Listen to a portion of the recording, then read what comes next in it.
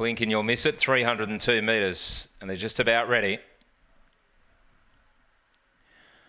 Racing fast out, Ike to Excel leads clearly going to second. Lots of spots the inside, rallying through Slobber Chops, and then Recklessness the outside from Zam Zam. Well back Turbo Tommy. Hello Harry spitting Venom in the straight. It's Ike to Excel in front of lots of spots. The outside Slobber Chops, but Ike to Excel all the way. One well from lots of spots. Third in was Slobber Chops, and then came Recklessness, and were followed by Zam Zam. Well back in the field, Tommy Turbo spitting Venom was one of the last ones home with Hello Harry.